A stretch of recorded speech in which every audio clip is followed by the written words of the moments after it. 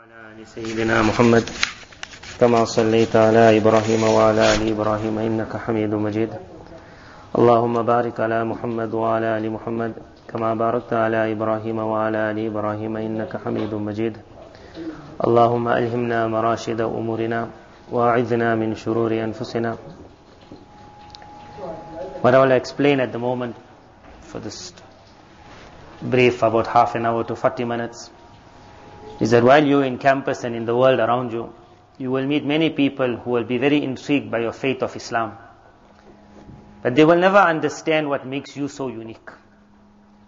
Many a person thinks that Islam is like Christianity, like Judaism, it is one faith. Whereas Islam was like the perfection of all. From the time of Nabi Adam alayhi salatu wasalam, this was like that final. Rasulullah sallallahu alayhi wasallam explained that with his coming now the building was made. Now there was that last block to be put in. And as that block was being put in, all the Anbiya alayhi salam's effort. So what they will call Jesus, Nabi Isa alayhi salam's effort was also in this Islam. Nabi Musa alayhi salam's effort was also in this Islam. Ibrahim alayhi salam's dua was in this Islam. Every Nabi that came, their focus was this. So it was not one religion. It was a completion of submission to Almighty Allah. It had to happen at the end of the world. At the end of times, the last. Because the final match is when every decision is made. Our Islam is the final match. And it was going to reach to that level of unique perfection. Before Islam, there was never something called a final book. So the Christians also never claimed we have the final book. The Jews would never claim it. There was never something called the final religion, the final code of life, only us. But when we explain it to people around us, what is so unique about this final? So Allah Ta'ala made Islam like a tent. And you can enter this tent from four sides. Each side will be a door, and at that door will be a proof of the wonder of this tent. That why is it so unique, this tent, compared to every other tent? The three, four tents, the four doors I will mention, try and remember it as far as you can. So whenever you meet someone, you can take them into your tent of Islam through that door. When they will ask you, what is so unique about this faith? Door number one, which is easy for me to understand, you to understand, is called the door of Quran. We are the only faith in the world that can lay claim to and they also have accepted. It is not something that Muslims have to prove, even non-Muslims will say. That this is the only book in the world that 1,300, 400 years have passed, but they cannot pick up any change taking place with the passing of times. There is no old and new. There is no reinvented. There is no new translation. There is something that has been moving with the era at every era. It made people learn its language, but it would not change its language. Even if the man could not know the Arabic language, it would not give in. You will read me in a language you don't understand, but I will never come onto your language, onto your tongue. Even a translation of Quran will not be called Quran. Quran was Quran. It was that one unique scripture that Allah Ta'ala at the beginning of time said, La tuharrik bihi lisanaka. The Nabi of Allah when it was coming, and it was known it's not going to be one or two verses. And it was known that if you attribute even one sentence to Almighty Allah, which Allah Taala did not reveal, وَلَوْ تَقَوَّلَ عَلَيْنَا بَعْضَ الْأَقَاوِيلِ لَأَخَذْنَا مِنْهُ بِالْيَمِينِ That even if the messenger of Allah has to say one sentence which we had not said, and he attributes it to us, then he would be grabbed by the hand, what we call by the jugular vein, meaning death would immediately fall upon him. So much of fear that even mistakenly one word must not come out. Even mistakenly one word. لا تحرك به لسانك. The verse of Quran came that do not worry of moving your tongue. That you remember every word. لا تحرك به لسانك لتعجل به. Inna alayna jam'a. Allah Ta'ala at that time announced, our job is the preservation of this we will preserve it in your heart how it became preserved in the heart of Rasulullah that itself is a door for the unique tent of Islam There was no alayhi salam coming down and saying, write it immediately. The writing was taking place after. After alayhi salam was gone, if the surah had to be 130 pages is one juz. 30 pages is one juz. A boy who's giving his time day in and day out in front of the ustad to learn one juz, even if he got a mastermind, it takes him about one week. In that one week, again and again, he makes door. He makes mistake after mistake, mistake after mistake. For Rasulullah there was no time for door. There was no time to make repetition. There was no time, let me write it on some paper, I can look at it. It was a meeting with Jibril alayhi salam which sometimes only took a few seconds. In that few seconds, it was a collection from Jibril alayhi salam into the heart of Rasulullah sallallahu How it happened, Nabi sallallahu alaihi wasallam said it would be like a buzz of a bee. Very far for the people of the past to understand. Today, at least in technology, we saw examples that you take that USB, you put it in that computer, how many files are in that? And then you just said copy. And as the thing copies, you just hear buzz. In that one buzz, as is, word by word, when Jibreel alayhi salam came, he came with the wording. He came with how it will be written. Rasulullah did not know writing. But how it would be written would be preserved in his mind that the Sahabi would write it exactly like that in front of him. They could not write it in any other style. The writing, the fatha, dhamma, kasra, how it will be read. The different dialects that permission were being given to. A man from that village came, he was allowed to read it with a slight changing in wording. Everything came in that one buzz. And the explanation of that, and the recording of that, that after three years, four years, five years, you come and say, did you read this as it was read that time? It will be repeated without one change, no deletion, no virus, no file missing. That one buzz was a miracle of Islam which no other book in the world has ever had. Inna alayna jam'a.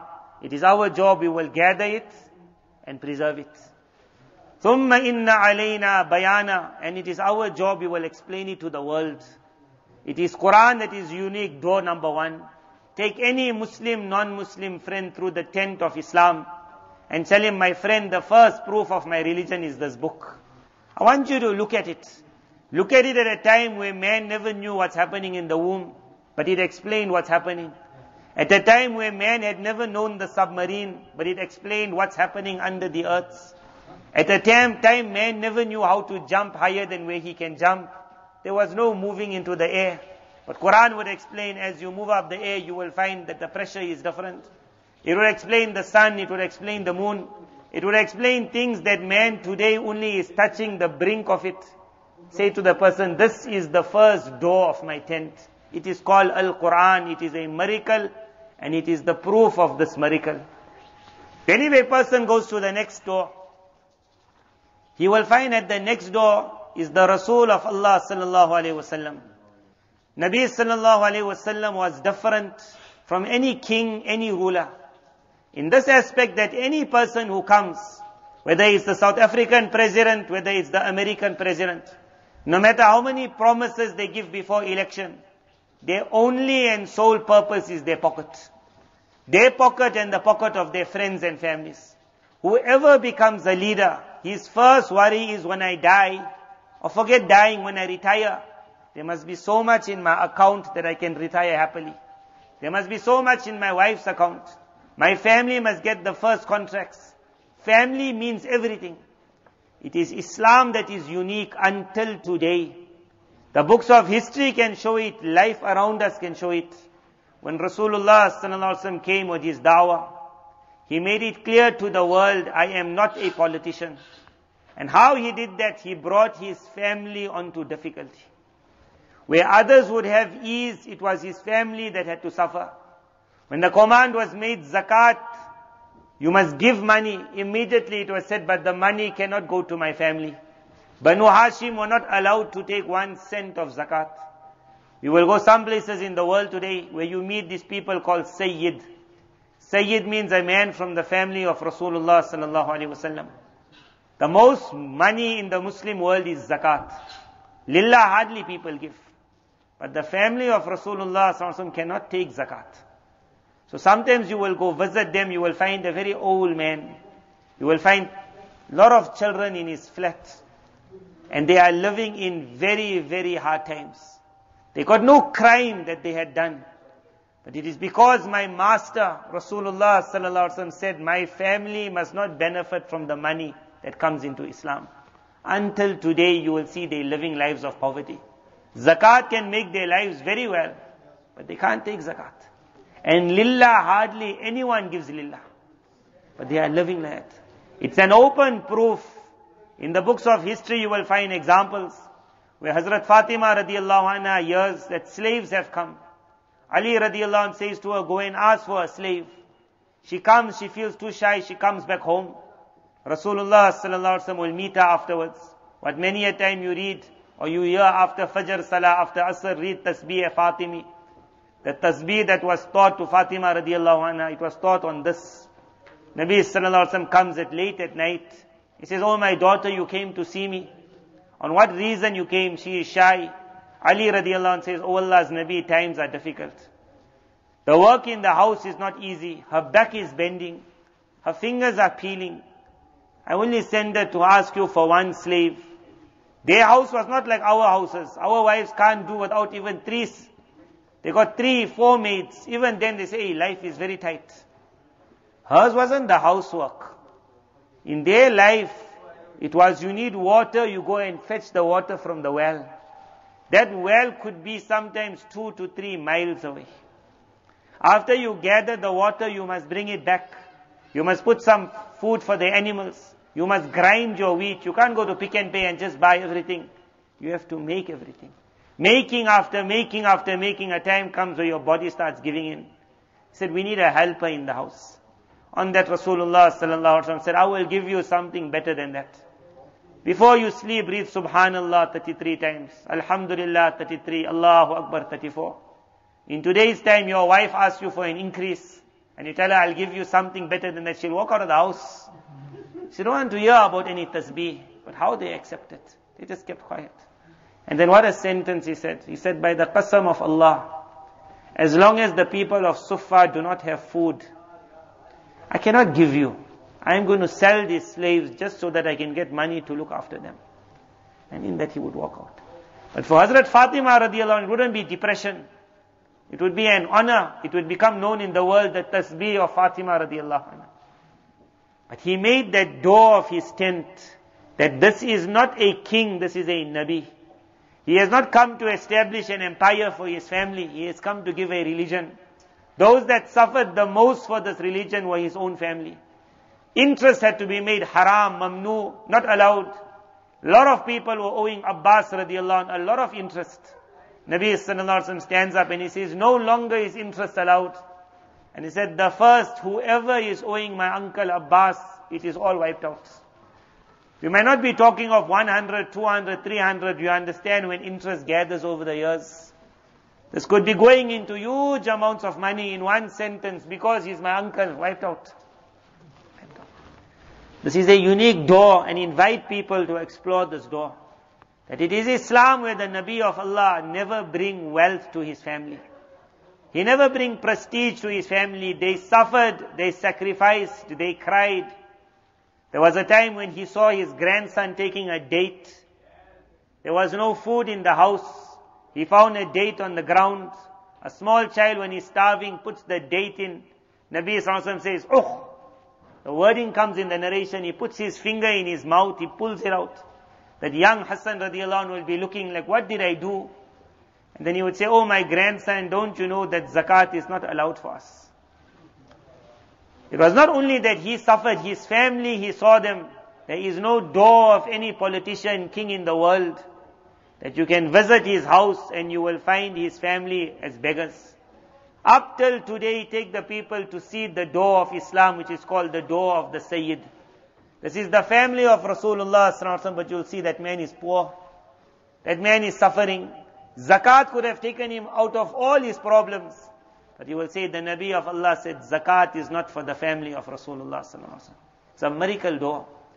Door number three is the door where Rasulullah sallallahu alaihi wasallam left people in charge. They are called the ulama after. Those ulama, as they are sitting there, then many people in the world over 1,400 years have come to the ulama. They came with bribes, they came with gifts, they came with women. Everyone came with one thing, can you change one law? That's all. And in every era, some law wanted to be changed. Every other faith in the world, that man sitting there in behalf of Jesus, he was also told when someone will come to you, forgive him, overlook him, write him off, do what you want with him. That man sitting there when someone came and said, you know what, Pope, boss, life is very hard. In the past I used to like Aisha and Fatima, now I like Zayd and Muhammad. So can you find something in your scripture that allows boy to marry boy, girl to marry girl? So the Pope will look little bit, little bit. After a while he'll say, you know what, life is difficult, never mind, allowed. We'll just retranslate this one line. It has happened. But in Islam, that scholar will be there. Forget someone coming with a gift to him, a present, a prize, a pretty woman. Even if the king of the time comes with a sword or a gun. And the wars that we see on Islam today is because of that same gun. That scholar is sitting at the door and he's told, change it, that's all. Make a religion of Islam which is like all the other faiths. That come to the masjid, come to the musalla, read your salah, go out, but be normal outside. Outside be cool, mix around, go to parties, go to clubs. See who you want, sleep with who you want, do what you want, and then come here and lift up your hands, it's Eid day. And after Eid say, how was Eid? Eid was good, have a Christmas. That scholar will also say, we don't want war. We don't want death. We can also change. Who doesn't want an easy life? Who doesn't want girls all around? Who doesn't want to talk to whoever he wants to talk? But that scholar then looks down and he says that I have been put by the Rasul of Allah only to say what the Rasul of Allah said. I can't make the change. First the girl is put in front, he looks how beautiful the girl is, he says, I'm sorry, I can't. And then when the gun comes out, that scholar he said, if you want to shoot, you can shoot. But I rather die and suffer here in front of Allah, I can't suffer. The history of Islam has showed the blood of scholars. There were those countries which saw thousands and thousands of scholars martyred in a few days. Some of them just said, we will never allow interest and they were wiped out. Tanks were brought. Holes were dug. They were put in. At the time when the British came to India, ulama were sent alive to carry bags. With that heavy bag, they were put, thrown into the river so that you don't die, you drown. As that man is going up and down in the waters, now bullets are flying in. The only reason was that so that the remaining scholars who are there can immediately say, okay, we give up. We will tell our people what you want to tell. There and there the ulama looked, tears came down their eyes. And when they asked you ready to give up, then they would say that man which Quran mentions, فَمِنُهُمْ مَنْ قَضَى نَحْبَهُ وَمِنُهُمْ مَنْ يَنْتَظِرُ There are many who have made a promise with Allah. He said they have already fulfilled their promise. He said, I'm waiting. They were then sent into fire. Oil was put around their body so that the fire burns bigger. It is this unique tent which is a proof of what a tent Islam is. That it could be me, it could be any other scholar. When the time comes that say make one change in your religion, then the man says, I am only sitting here saying what the Rasul of Allah said I must say. I can't change. Unique Islam is. Quran was that one door. The family of Rasulullah is the other door. They in their poverty are saying to the world, if he came for his family, we would be the richest in the world. He never allowed us to take zakat. We can't come out of our difficulty. The third door is the scholar. Perhaps he hasn't got the biggest mansion, he hasn't got the biggest palace. Perhaps he had to see himself or his family being killed just because he was not ready to say one sentence which the enemy wanted him to say, but he said, I can't say it. Those are three unique doors. As for the fourth door, this is what these five pages are supposed to be. But very fast I will take you through this fourth door. This fourth door is called the miracle of revolution in the people around an individual. There is a word in the Arabic language which calls Rijal Hawl Rasul. The people around the messenger of Allah. To understand what revolution was made when Nabi Sallallahu Alaihi Wasallam came, you put yourself in that era. It was an era which was different to all other eras. It is like sometimes we take you. We also have experienced, sometimes they send us to a certain country. They say the people of this country, they know nothing about character. So they say to the teacher, it's your job, you must teach them. Some of my friends, they went to the Arab lands to become teachers in English. So I asked them, how is it to teach the Arab boys? They said, the Arab boys, just because you are South African, they look at you like dirt. You can't teach them character. You can't teach them to be obedient. You can't teach them anything. You must only teach them English. What they do with their lives is theirs. You can't change. Someone who is hard at the beginning, you can't change. Many people nowadays get married. The man says, I'll change my wife. He's never changed her. Big talks to change one woman in your house, your own woman. She's under you. She's locked up in your house. You giving her the money, you giving her the clothing, you giving her everything. After a few years, the man says, I thought I was the lion in the house. She's the trainer of the lion. One woman you can't change. You can't change people. Rasulullah came to a nation that forget needing change. It was such that you needed to sort out the problem. You say burn the whole farm. It's only weeds. There is only weeds. They were the nation that saw happiness in bearing their daughters alive. Which Allah Ta'ala says when someone would say to them, you got a daughter. Instead of getting happy that the delivery was okay, the daughter survived. Allah Ta'ala says, وَإِذَا بُشِّرَ أَحَدُهُمْ when the news comes to them, it's good news that you got a daughter. Says you see their face becoming black. He becomes angry. He's looking at his friends, يَتَوَارَى مِنَ al He's angry. He starts hiding away. He say, what a disgrace. What am I going to do with a girl in the house? Put yourself in that environment. When Allah Ta'ala says, Allah sa'a ma yahkumun. Terrible was their decisions.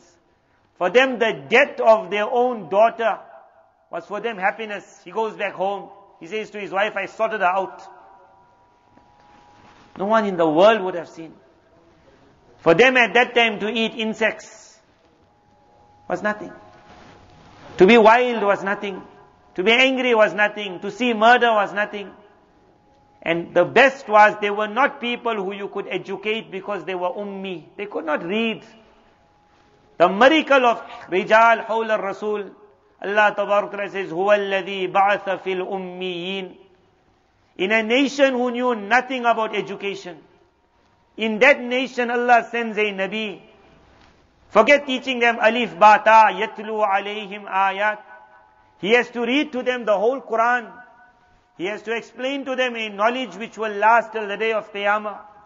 يتلو عليهم آياتك ويعلمهم الكتاب والحكمة Not only make them read like you got the child in madrasa at a young age, alif, ba, a, a, a, a, ba, ba. He had to teach them the meaning. He had to teach them the deeper meanings. He had to teach them that in zakat you will pay the zakat on camels. What's the zakat on camels? They never even know how to write one, two, three. Suddenly they have to work out when you got so much, you will be paying so much. When you got so much, you have to take out so much. They had to learn the laws of jihad. How much each soldier will get when he goes out in the path of Allah. How you will divide it. They had to learn the laws of inheritance. A nation who never knew maths had to be taught everything. Science they had to be taught. Geography they had to be taught. Counting they had to be taught. They had to be taught Shariat, the laws of wuzu, the laws of ghusl. Me and you know what we learnt in madrasa when we were small, we forgot three quarter of it. Today someone asks you, making a ghusl, you remember what's farz in ghusl? That boy say, I don't know, I just walk in the shower, put it on, I come out, work is done. Where am I going to remember what is farz, what is sunnah? Small things like that they remembered and they sent it to the world. Small, small points. But a nation who never knew how to write, a miracle transformation. بَعَثَ فِي الْأُمِّيِّينَ رَسُولًا مِّنْهُمْ Something to look at that door when you see that group of Sahaba standing there. The first thing they will say to you is, you might be looking at me today as I was the most unique that the world ever seen. You know me when I was young, my father also said to me that you cannot even look after sheep and goats. Umar radiallahu anh said this when he became the great Khalif of Islam. He says, Khattab, my father, if he could see what's happening today, he said, I remember the time when he gave me one shot because I had not done something on the farm properly. He said, you can't even look after the goat. He said, if today he could see I'm looking after the whole world. That man never have an upbringing. He never go to the school for politicians. He was not of the royal family of England. Put him in this university. From grade one, he will learn how to put on his trouser. You put it on like a king. You'll do it less. He never learned that. Miracle transformation. There was no mass media. There was no WhatsApp he could send to them. There was no schools that he could bring them in. It was the company of Rasulullah sallallahu alaihi wasallam. But in where? In an environment that was so hostile that for 13 years in Makkah Mukarramah when they gathered also they were scared the enemy mustn't know we are. He never had a computer to put it on and show them this is our religion. Hiding, hiding they would come for 13 years. But in that 13 years a revolution was made. What was the revolution going to give? Allah Ta'ala would speak of this revolution. And it is a door you must invite people. Many of us are hafiz of Quran. Those that are not, we know this verse. It is one of the few places where the word Muhammad is mentioned in Quran. But Allah Ta'ala in this verse was going to explain what was so unique about Rasulullah sallallahu alaihi wasallam. What was the proof that this is the man of Allah? It says Muhammadun Rasulullah. Muhammad is without doubt the messenger of Allah. And one of the biggest proofs of it is وَالَّذِينَ مَعَهُ That if you want to see a father, look at his son. In Arabic they say, Al-waladu sirrun li abi. A child is the secret of his father. A child is the secret of a father. Many a mother you will see her in full niqab because her husband is a alim of the town. But she doesn't want to be in niqab. And sometimes the alim himself doesn't want his wife to be in niqab. But he knows if she takes out a parda, he'll get fired from the job. So he tells her, you just cover. But his daughters and sons, they're not covered. They're walking around nice and open. Al-waladu, a child is the secret of his father. You want to see a teacher, look at his students. According to the caliber of the students, you can say the students are good, give him a better job. This is a top teacher. Rasulullah sallallahu alaihi wasallam's proof of his being the master messenger of Allah was the men around him. وَالَّذِينَ مَعَهُ Allah Tabaraka says those around him stood out in the world with three qualities. This is the miracle of the men around him which you will not find in history. Number one, أَشِدَّا عَلَى الْكُفَّارِ رُحَمَاءُ بَيْنَهُمْ That to be able to have love for each other on the basis of Islam. I want you to think about this. Normally we give many bayans before nikah. But at the time of nikah, our biggest dua is, I say, forget the bayan, make dua.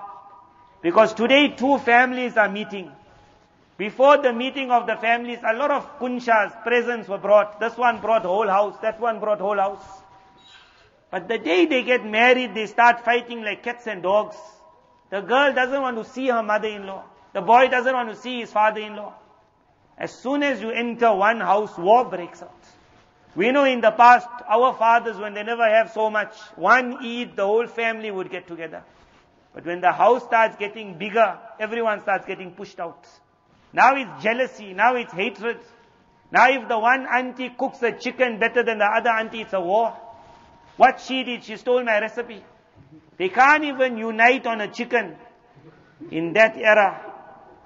Something to think about. This word of Quran, ruhama ubaynahum. That as this religion got bigger, bigger, bigger, the normal demand, tribalism amongst the Arabs were on its height. Our tribalism, I don't know if you people have heard, in our families there's something called surti. That which gam you come from, which village in India. We never came from the village, we were born in South Africa. But they still tell us you from that village. So that boy comes home and he say, Mommy, I want to marry one girl I saw in university.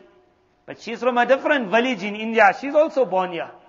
But someone in India is on a village. Sometimes that village could be opposite the bridge also. Just opposite the bridge. Suddenly your mother, your granny, they'll go in a fit. They don't know why to tell you no. They'll say she doesn't make roti like how we make roti. They don't know why. This is called a tribalism. Their village, never. Amongst the Arabs, it was so severe tribalism that when the man Musaylama Kadhab, he stood up and he made a claim, I am the Rasul of Allah. And Abu Bakr radiallahu anhu's army had to go and fight him. Someone met someone who was following Musaylama and said, do you really believe that he can be a Nabi? He's filthy, he's dirty, he's a liar. So filthy this Musaylama character was that another woman came to his tent. So she said, you want to be the Nabi of Allah. I also want to be a Nabi. So if you can be a Nabi, I can also. So he said, yeah, there's Lord placed there in the treasures. You can also become a Nabi. So then he said, let me marry you. So at least there could be a marriage between two Nabis. So she said, no problem. She was thrilled to marry Musaylama. Now she goes back, she also had a tribe. She said, you know what, that Nabi married me. So they were so happy, they asked, what's the meher? But she said, I forgot to ask for meher. How can you forget? Go back. This is a Nabi meeting another Nabi. When she comes to Musaylama, she says, my people are very upset. There's no meher. He's so stingy also. He could have taken out some gold and given her. So stingy. He said, okay, your meher will be that there are five times salah in the day. I think it's the Fajr and the Isha is the hard ones. I make it maaf for you and your family. That are the top meher for them. So much lies. So then they came and asked him, what Quran you got? You say you are a Rasul of Allah. He had a jinn. So they said, your jinn is bringing some words to you. What is that words? So he never know what to say. And you can't imitate Quran no matter how much you try. But he hit a chance. So where Quran example had a surah Al-Qari'ah, Mal Wama Adraka Mal Qari'ah. Do you know what Qiyamah is? So he thought that I can just put something on that scale. So he read Al-Fil, the elephant. Do you know the elephant? What must I tell you about the elephant? So Al-Fil, Mal-Fil, Wama Adraka Mal-Fil now he has to carry on. He doesn't know how to carry on. So he said he got a long nose and he got a short tail. His own people started laughing. This, you don't call this even Red Riding Hood story. At that time, someone said, do you really believe him to be a Nabi? He said, we also know he's a liar. He said, but the problem is he's from our family. He's from our clan. Because he's from our clan, this was the tribalism in that era. In such people, Rasulullah had to create love. In such people who for hundred years plus were having war. Some of those people had killed the other man's father and brothers. He now reaches into them and he says, forget your war. You think it's so easy to say? We tried it in families where husband and wife is fighting. In families where mother-in-law and daughter-in-law is fighting. You can bring a tawiz, you can bring ayat, you can bring money, you can do what you want. Finally, you tell the husband, take your wife and build for another kitchen. She must stay out. Your mother must stay out. Every day they meet this war. When Rasulullah had to come, he had to join tribes. Allah Ta'ala says, وَأَلَّفَ بَيْنَ قُلُوبِهِمْ Miracle of Islam is Allah united their hearts. Look at this verse. لو أنفقت ما في الأرض جميعا had you spent whatever the world could give, you would not have managed to unite these hearts. وَلَكِنَّ اللَّهَ أَلَّفَ بَيْنَهُمْ It was Allah who made like glue. They became so strong in love for each other, so strong in love, that if a battle had to be taking place and the man saw his son who's a disbeliever, and he saw a Muslim who's from another tribe, he would run towards his son to kill him before that man could be killed. On the basis of Islam, they forgot everything. Everything they forgot. This is that miracle which Quran said, Ruhama ubainahum. When you will come to that fourth door of the tent of Islam, you will see a group of Sahaba whose hearts are so, so clean that the books of history had to write here miracle. Ruhama ubainahum. تراهم ركعا سجدا يبتغون فضلا من الله ورضوانا سيماهم في وجوههم من أثر السجود Miracle number two of this revolution. It is very easy for me to become a leader of campus, leader of the country. During the day when the cameras are on me, then I'm giving a top lecture. Then I go out to give welfare work. As I'm giving some present to the boy, then everyone is taking pictures. Then you say, look in the picture, smile, say, come stand here. Now I go back after six o'clock. I said, I did work for the day. But after six o'clock comes, every leader in the world goes home. Then he closes his doors. Now he sits back by the TV. He calls his wife or his secretary or secretaries or you know who he calls in that house. And now as he starts looking at the newspaper, now he's waiting for sleep. Before sleep comes, now there'll be one, two drinks of liquor. The privacy of the night is not under the camera. Because if the country can see what filth he's doing at night, they also will take back their vote. Don't look at his private life. It's the public life that matters. He's your president. The revolution of Islam was that when the world would go to sleep, the men around Rasulullah would wake up in the hours of the night. They could be the leaders of humanity, but they would be on the musalla. Allah Ta'ala says, Rukkan sujjadan. You would see them in ruku, you would see them in sajda. You would see them crying. A leader doesn't cry, a leader makes other people cry. A leader says, You know who I am, I'll wipe you out. You would see them crying that, Oh Allah, do not wipe me out. This revolution is a revolution of truth. This is a proof of a Nabi. Allah Ta'ala said, You would see it amongst the Sahaba. Ali radiallahu an, his wording was famous. He said, Verily I had seen a nation, I cannot find anyone like them today. I had seen a nation, I cannot find anyone like that today. And then he said, كانوا يصبحون شعثا غبرا. He said they would wake up in the early part of the morning. Their houses had no carpet. They would be making sajda in dust. Yellowness would come on their faces because there was no food in their stomachs. He said then يتراوحون while other people take rest on their beds, sometimes we're sleeping this way, then my back starts paining, then we sleep that way. He says they would take rest between their legs and their heads. When their legs could not manage the qiyam any longer, they would go in sajda. The sajda would just be to take out the swell from the leg. He said they would take rest between the heads and the legs. And they would carry on till the start when dawn now had reached its end. Dawn had started. He said at that time they would start thinking of Allah. They wouldn't stand up and he would say to their wife, you saw how much salah I read? Aso and dua. At that time, as they would move, he says, you would see tears coming down their eyes. That, oh Allah, if you punish me, then it's all finished.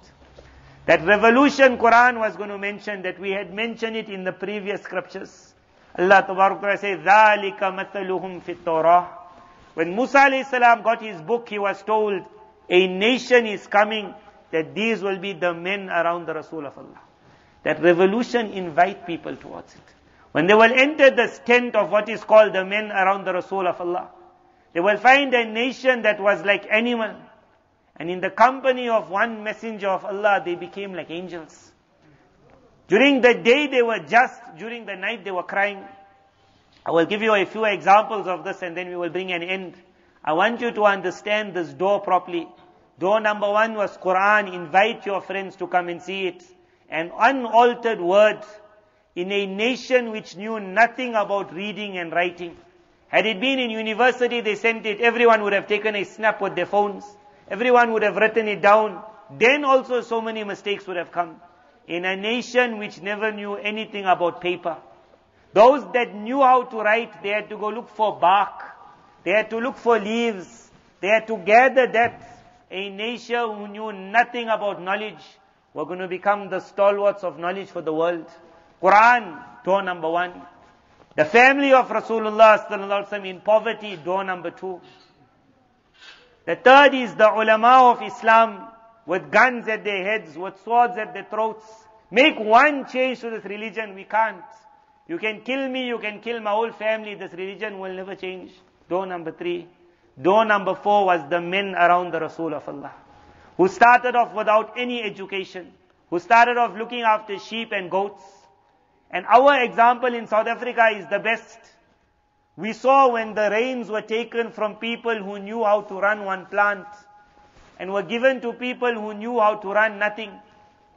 You have to expect there has to be a total collapse. And we see it in the country and you don't blame them.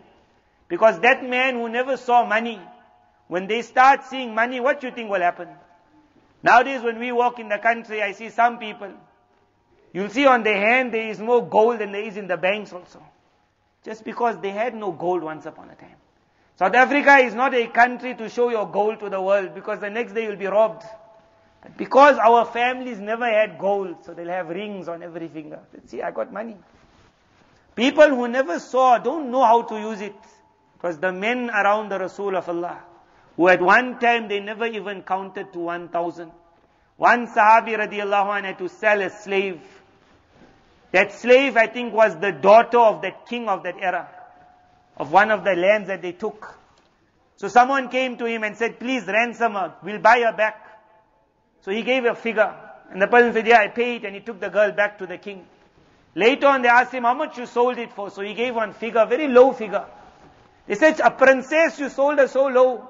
He said, I don't know what's the number after that number. That was the highest number I knew. That nation, I will take you through what they became. This is that last door. May you enter it, may you see it, can you invite other people through this door? As you enter this door, you will find lil fuqara il muhajirin. Allah Ta'ala said, at this door first you will find those fuqara. Those people who became poor for Islam. They were not poor before. Abu Bakr radiallahu was very wealthy. Islam came, all his wealth was spent. Khadija radiallahu anha, all her wealth was spent. Now came the law, leave Makkah Mukarramah, go. Suddenly when they went, the only thing they had left was their houses. As they were leaving, they knew this house we will never see again. This is the meaning of lil fuqara al muhajirin alladhina ukhriju min diyarihim. Those poor people who had to make hijrah to another land, who were pulled out of their houses, as they were going, not one of them said that when Muhammad came to us with this religion, he destroyed our entire life. As they made that hijrah to Medina Munawwara, to a land where they knew there's no one for us there. There is no house for us there. There is no money for us there. As they went there, Allah Ta'ala said, يَبْتَغُونَ فَضْلًا مِنَ اللَّهِ وَرِضْوَانًا As they went, everyone was smiling that, Oh Allah, in your love I am making this journey. It was a miracle of that men. You will see that group standing. Then you will see that group, وَالَّذِينَ تَبَوَّأُ الدَّارَ وَالْإِيمَانِ They were called the Ansar. No one wants somebody else to come into his house. You say, I put up this year, you coming from where? When the Ansar saw the Muhajirin, they understood these people are coming to eat from our land. They're coming to live on our land. They're coming with no money, we have to give them. Normally, as soon as you see someone coming, he's a threat. Immediately the Ansar went and said that you have left your wives also behind. I got two women, both are my wives. I'm ready to divorce one also. Normally me and you will also say, I'm ready to divorce my wife, the one you don't like. I loved her enough. He said, you choose the one you like. I will divorce that one. They went to that limit where a Sahabi of the Ansar knew that the Muhajir doesn't like to take from him. So when the harvest was cut, now the Sahabi, the Ansari says to the Muhajir that we are business partners. But the Muhajir says we are business partners, but I can't do farming and it is your farm. So it's not right for me to take. So the Ansari says, doesn't matter, I got lots. Here I have cut the crop, you take one part, I'll take the other. The muhajir automatically will say, I'll take the smaller amount. The smaller one because it's yours. The Ansari knows this. So after he cuts it, whatever is pure, he puts it in one sack and he presses it down. So it becomes very small. Whatever is dirty and filthy and all the leftovers and all the grass, he puts it in another sack. He makes it bigger, bigger, bigger. He knows that when my Ansari brother, Muhajir brother is going to look at it, he's going to see the smaller sack. He will understand why must I take more? So he will take the smaller sack, thinking he has left for me majority. To that extent, they would be ready to sacrifice Here's a big sack, here's a small, choose which one you want. He said, I'll take the small one. He said, you sure? Take the big one. He said, no, I'll take the small one. He will go away happy I took little. This one will go away happy also that my Allah knows I gave him more.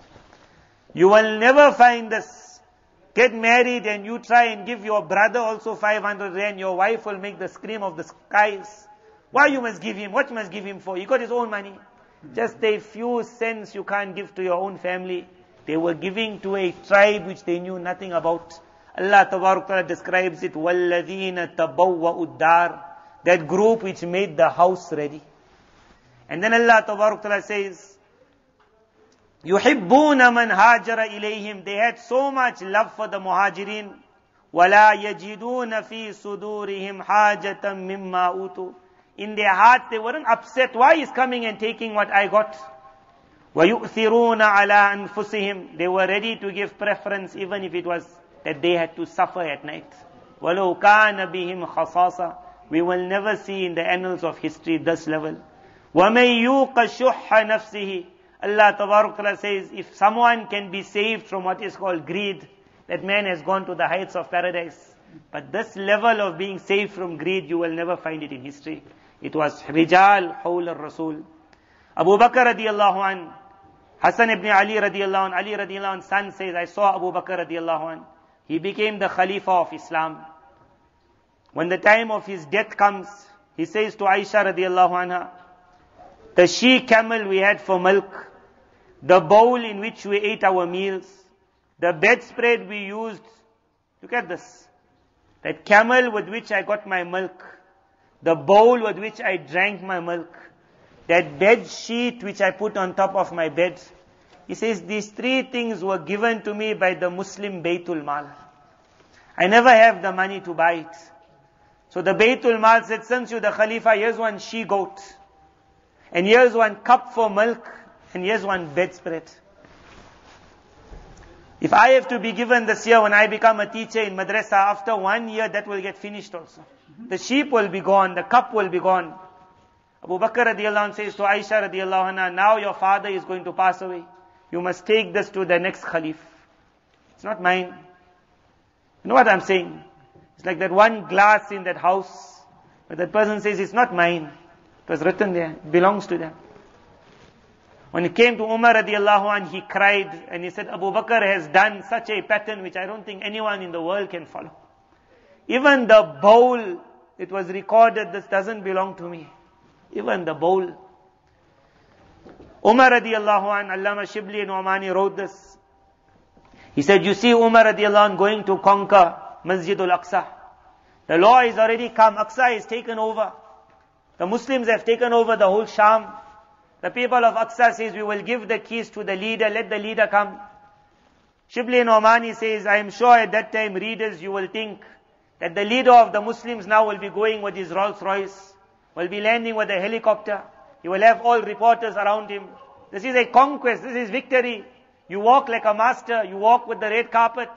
As you walk, everyone has to come around you, you walk with the head up. He says, but when Umar radiallahu anh made the journey to Al-Aqsa, he never made it like that a revolution around the Rasul of Allah. This revolution you will never find in the histories of Islam. Me and my brother have a fight. Just that small fight. In the end I win the fight, the argument. Now he has to say to me, sorry. As I walk in the house, I'm bouncing already. That you saw who I am. He says, when the man was the conqueror of the entire Sham, Aqsa's keys are being given over. He says, you may think that he was walking surrounded by an entourage to show the grandeur and the might of the Muslim leader. He says no entourage was going to accompany him. Not even an ordinary tent was provided for his accommodation. It was a weak camel, a few members of the Muhajirin and the Ansar who would accompany him. Hafiz ibn Kathir narrates that he enters into the city Jabia on the outskirts of Al-Aqsa on a camel. The camel has no real saddle. It has no stirrup. If you ever rode on a camel, you will understand as that camel goes up with its hump, that day your behind will pain till the night. If there is no saddle, he says the saddle of the man who came all the way from Medina Munawara was nothing but one woolen sheet. He used to sit upon it while riding and he would use it as his bedding when he alighted. His traveling bag was a pillow when he wanted to rest. We're going for Umrah, our five bags already. We even got that one pillow in the aeroplane. That in the aeroplane I want to sleep. I don't like the seat. I paid so much for it. But even for that, my neck mustn't pain. The leader of the world as he walked, that door he left for the world, that this is the proof of Islam. The leader of the world as he moves on his camel. To show the world that only Muhammad could have done this. He says, you have heard of Usman ibn Affan. You want to judge a place, you look at the leader. He said, you know the word Usman ibn Affan? He says, simplicity dominated the life of Usman. He entertained guests with sumptuous meals, but he himself only ate bread with vinegar. Very often he would fast for days on end. At the old age, Usman radiallahu an, they found him going to fetch water for himself to make wudu. Not like our house where we just enter the bathroom, put it on, you get hot water. The Usman, at the age of 80 is going outside to make wuzu. So someone said to him, tell your slave to get the water. You are the Khalif of the Muslim world. Usman radiallahu anh says, Allah has given them the night to rest. It is not right for me to wake them up. He said, the night is theirs so that they may rest in it. How can I take that man's sleep away? Think about this. You will understand this the day you get married. The day you get married, before you wake up, you say to your wife, go make my tea. You won't wake up until the tea is ready. At that time you will think of this man who said, the rest is theirs. It's not my right to wake them up. At the age of 80, Usman is going out to get water. So these were the men around the Rasul of Allah. I will end on this last sentence. Allama ibn Taymiyyah rahimullah said this. He said the best group of the ummah were the Sahaba radiallahu anhum. There was no group of this ummah which could be compared to the Sahaba in matters such as uniting on guidance and abstaining from dissension and disunity. He says whatever shortcomings are attributed to them were so few and minor. It is as though there is a faint mark on a white cloth. Remember the sentence of his. Because we're living in a time today where you meet certain people who say, but see this. But the only thing they can show you is a paper. Words of history written on paper holds no value. Words of history as recorded by Sunnah, by Quran and authentic Sunnah has value. I was in the aeroplane when I was coming before the Turkish elections. I saw the New York Times. When I read the New York Times, they were writing about Erdogan. A man can write any story. According to the writer is the thought. The people who read the New York Times, as I read that article, at the end of the article, you convinced that Erdogan is like Hitler. Evil in every angle. The people just hate him. They can't stand him. They want him out. This is what writing can do. You come back on that side in Turkey, you read the newspaper, you will see Erdogan is like a saint of the era. How do you know what's the truth and what's a lie? You can never believe paper. You have to go on the ground. On the ground, an election takes place. The president of Turkey is announced. So many people voted. They all like him. The next day, the New York Times will write, the people of Turkey are all idiots. They don't know what to say. So much you can write, you can make the minds of people. History can show a lot of stories. They can show a man at night, he was reading 200 rakats of salah. They can show that same man was drinking liquor and sleeping with women at night. You cannot believe just written. Go on the ground. When you will enter the tent of Islam and you will see Sahaba radiallahu anhu, you will see Ali radiallahu anhu hugging Umar radiallahu anhu in a manner that Umar radiallahu anhu when he's going to take over Al-Aqsa, he says, Oh Ali, you will be my governor over Medina Munawwara at the moment. In a manner that Umar radiallahu anhu wants to get married. He already has wives. He is old. The daughter of Ali radiallahu anhu from Fatima radiallahu anha is young. Umar radiallahu anhu is shy. Ali radiallahu anhu got an excuse. Many a time you will propose one day. The girl doesn't like you. But she doesn't know how to say no to you. So normally they got one answer. They say, my istikhara never work out. That istikhara means that I don't like you flat. You never come in a dream and say, I'm a bad guy. Ali radiallahu anh wanted to, he could have said to Umar radiallahu anh, you are so old and she is so young. You have other wives. Can't I get married, get her married? She's a virgin. He could have made any excuse. He could have said the istikhara wasn't good. But Ali radiallahu with happiness, he says to Umar radiallahu isn't she too young for you? So Umar radiallahu says, she is young. Meaning she is not really that of that age which should come in the house of a Khalifa. He says, but because she's from the family of Rasulullah sallallahu alaihi wasallam, I would love to take someone like that into my house. On the love of Rasulullah sallallahu alaihi wasallam, Ali radiallahu anh gives his daughter, Umar radiallahu anh accepts his daughter. That tent you will see. Umar radiallahu anh has to give out wealth. They have to write down the register who will take. They say to him, you are the Khalif first, your family. He says, no. First the family of Ali and Abbas, the family of Rasulullah sallallahu alaihi wasallam. He says the family of Umar, he brings them sixth in the line. Sixth in the line means as you go down the line, you get less, less, less, less. His own family would come down. He would say, put the family of Umar where Allah put them. They came late on into Islam, push them late on. He says, for the family of Rasulullah, Allah put them high, put them high. That tent you will see, which was a miracle of Islam. Allama ibn Taymiyyah said these words. He said, if you find any mistake among the Sahaba, it is like a dot you will see on a white kurta. See, when the kurta is white, you will pick up the dot very fast. Not because the dot is big, because the cloth is unique. Because the cloth is unique, you will say there's a dot there. You will say the dot being picked up by your eye is a miracle in itself.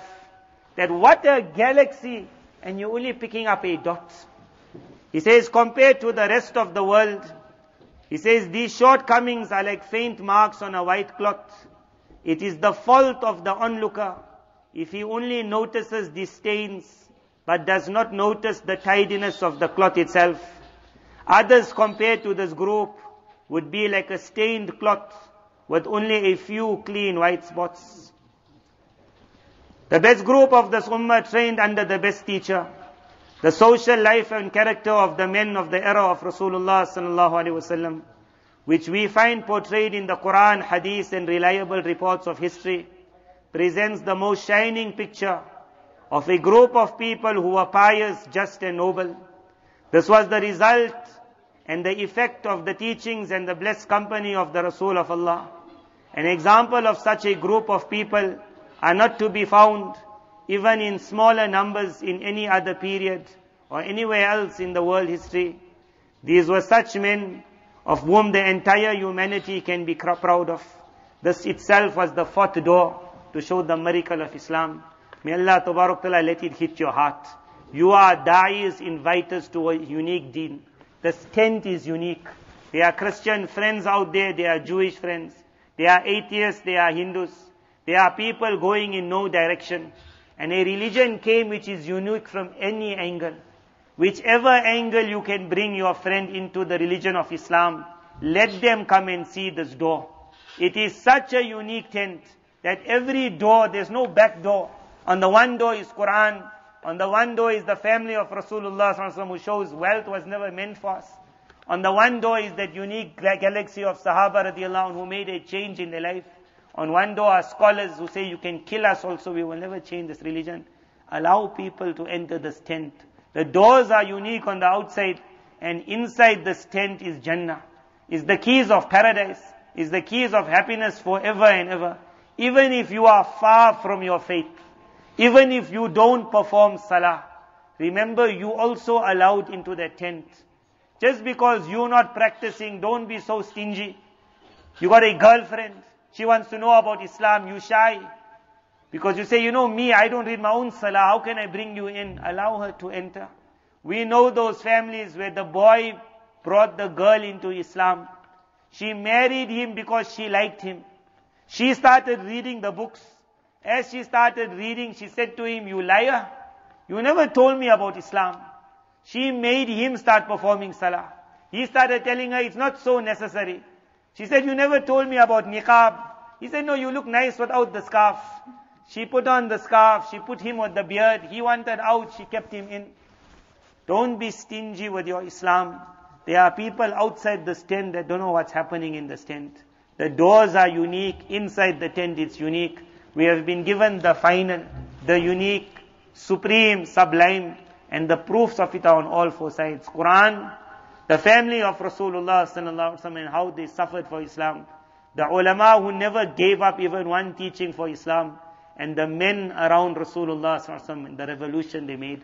May Allah tabarak let this message hit all our hearts and make all of us ambassadors of Islam. Allow us to bring people who are outside inside. And may Allah keep us always inside this tent. Jazakumullah for listening so well. Normally the hardest thing to listen to a bayan is when you see braai outside. I did tell them as soon as it's ready they must make a sign. Now I can see the fire is, the smoke is also telling me sign up in the bayan. Jazakumullah for your time. May Allah keep me on Islam firm. May Allah keep you on Islam firm. And may Allah make us da'is for the rest of the world. Wa akhiru da'wana alhamdulillah.